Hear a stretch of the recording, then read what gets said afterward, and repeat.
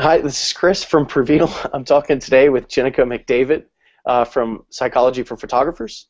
Uh, we're going to talk a little bit about uh, kind of how I came across her stuff, and I'm just going to let her talk about psychology because it's stuff that I don't really know, but she knows very, very well. Um, she's got a couple of uh, ebooks out right now and is working on one uh, that should be releasing really soon uh, that I think apply directly to what we do here at Preveal and, and what our, our users are doing and, and things that can help them quite a bit. Um, so I'm going to stop talking for a second and pass it over to Jenika. And uh, and just talk about you know I, I, think the first time first of all sorry hello. Hello. Uh, I think the first thing that I came cr- across of yours was your free ebook which I wrote down the name because I always just call it the the client money ebook. It's uh how clients make decisions about money.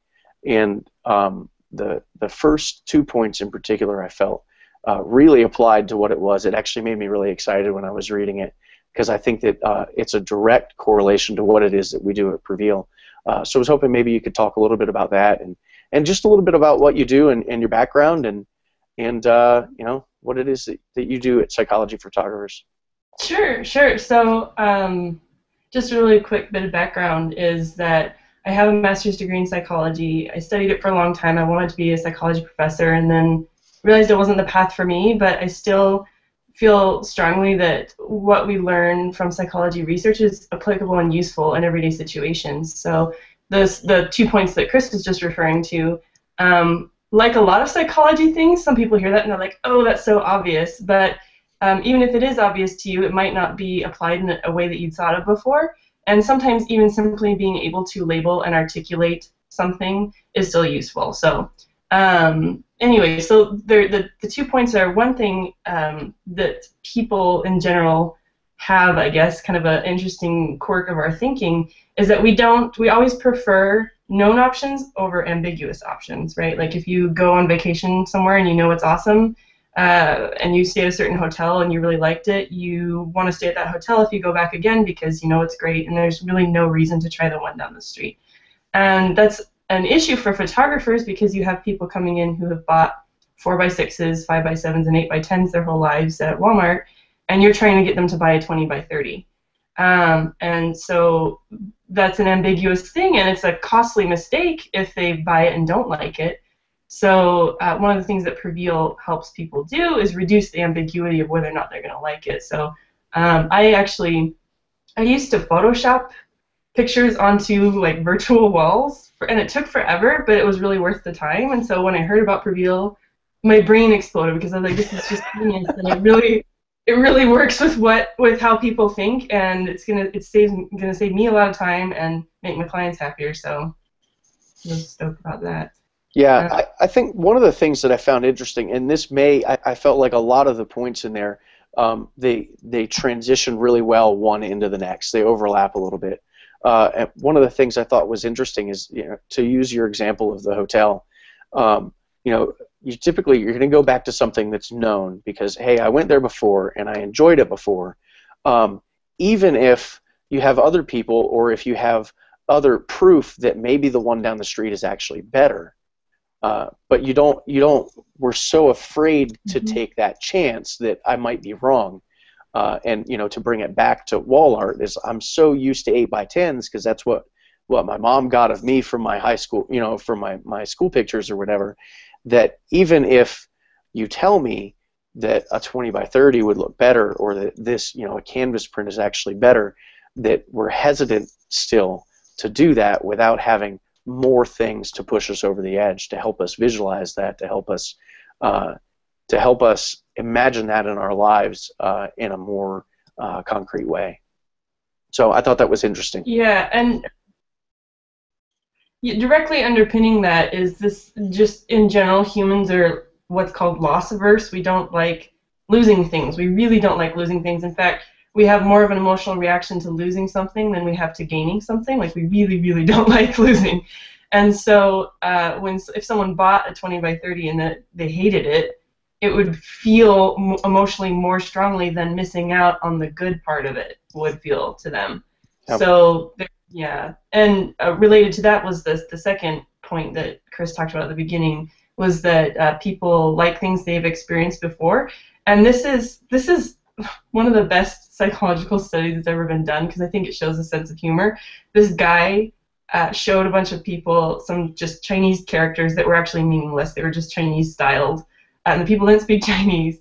And and then he had them rate how positive or negative he, they thought these random characters were, and people rated the ones they've seen before uh, seen before as more positive, which makes no sense because it doesn't mean anything. Yeah. Uh, it's totally random, but just the fact they've seen it before meant they liked it. So, uh, and that's uh, that happens in a lot of things. We like. I mean, that's why people pound in so many lawn signs uh, during election time. Uh, there really is something to that. So. Um, hmm. That's what I like about Preveal is that it familiarizes people with these new options before you you know spend the money on printing them. Yeah, yeah, no, that's cool. Um, and that is a free ebook, and this is me telling you guys listening to this, that's a free ebook that you absolutely have to get your hands on. Uh, it's fantastic. Um, one of the other ones that, that I also got and just kind of poured my way through. I'm serious. It sounds like I'm sitting here and just saying like, "Oh, hey, she's great and you should get her stuff," but she's great and you should get her stuff. Um, the uh, the second book is uh, and it's it's about building an irresistible website, uh, and it is not free, but it is worth every penny, um, and it's absolutely phenomenal. I, in fact, I kind of um, you and I have talked about this before, uh, not in this kind of setting, but that I felt like it's actually so much more than building an irresistible website. This it is phenomenal at helping you figure out exactly who your target client is and then how to speak to that client and how to attract that client. And yes, that definitely applies in uh, in the design of your website, but I think that that that book does so much more for small business owners and I think we've talked about this too that your reach is so much bigger than just photographers. It's really for startups and small business owners. And that book does so much more in helping you figure out exactly who it is that you uh, want to target and exactly who it is that you want to, to work with. Um, and to build really your business more than just your website, your business in such a way to attract those people. It's an absolutely phenomenal ebook. Um, and I figure I'll let you talk a little bit about that, and then I, I do want to talk a little bit about what you're working on next because anything that you put out, I'm going to be into. So.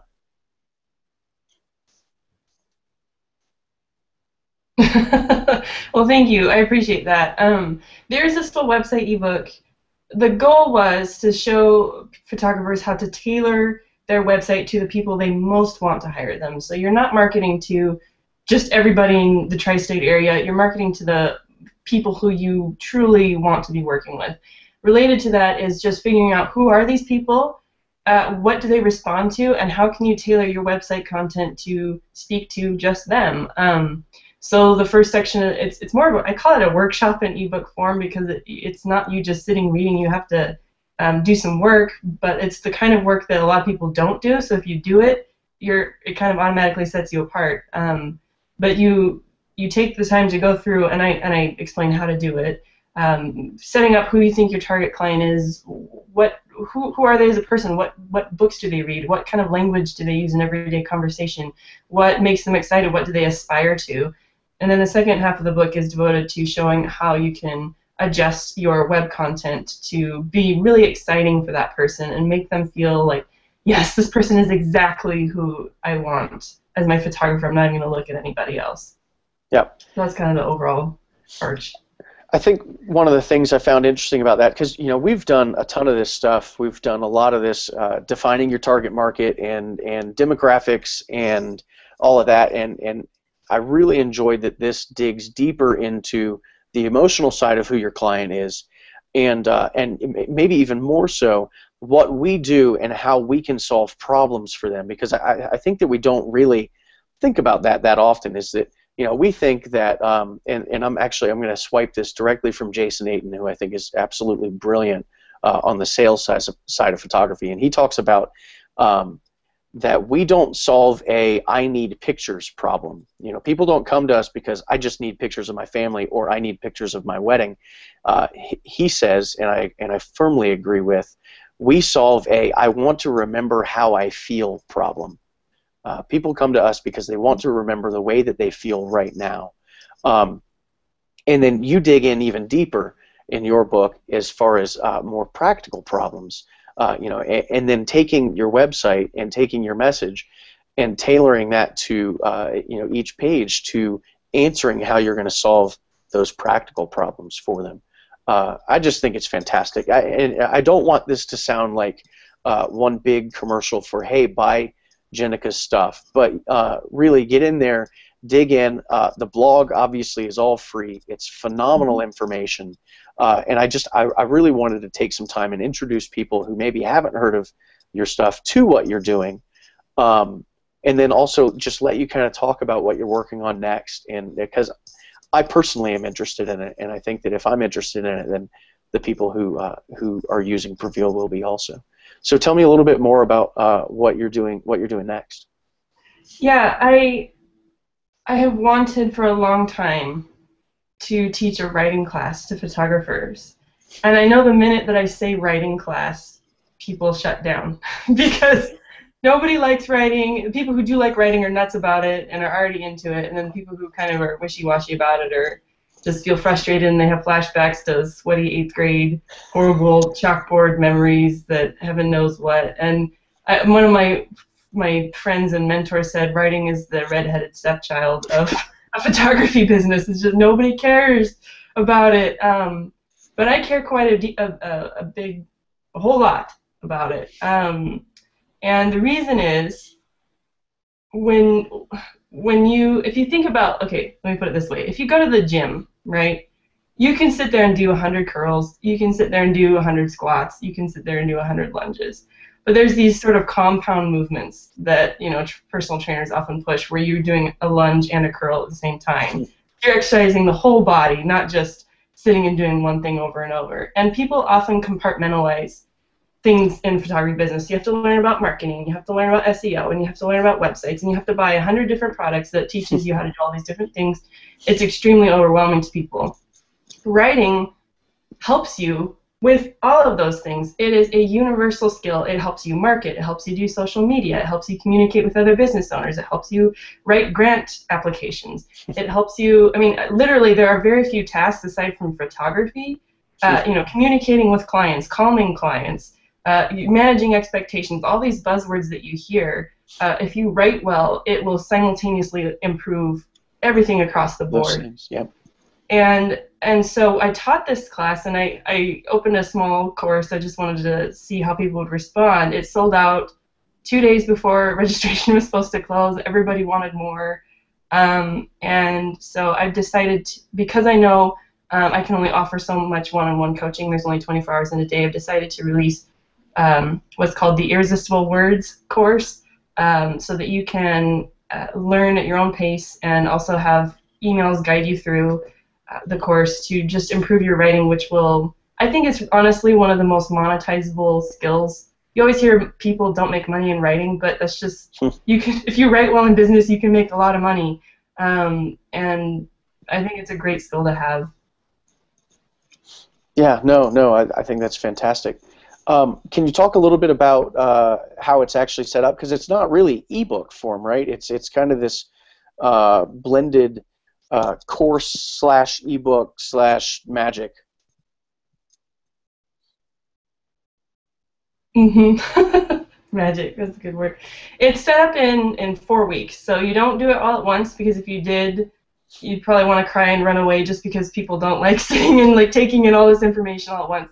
So it's set up in four weeks. You can do one chunk a week. It's very manageable, and uh, there's a little exercise each week that you can do to get better. So if you buy it when it comes out next week, October 23rd, um, you'll be writing much better before Thanksgiving. Uh, but the way it's set up is the first half teaches you how to connect more with clients, and a big part of that is something I've pushed on the blog, which is being more concrete in your writing. Um, I go into a lot more detail about how to do that. But um, there's something one of there's a social psychologist who wrote about the idea of being concrete and how that impacts people. Um, he was talking about how traffic accidents are reported, and he said, you know, if you write a story about someone who got in an accident, you say, oh, they sustained injuries in an auto accident. People are like, oh, that's just too bad. But if you say, you know, a semi trailer rolled over and crushed his legs, and get very concrete about what happened, suddenly people will be all up in arms. They want to, you know, pass seatbelt laws and they want to pass drunk driving laws and they want to take action more in response to concrete things than vague things. Um, which is it's the same thing that Preveal does is it just makes these things go from vague to concrete and makes people want to take action.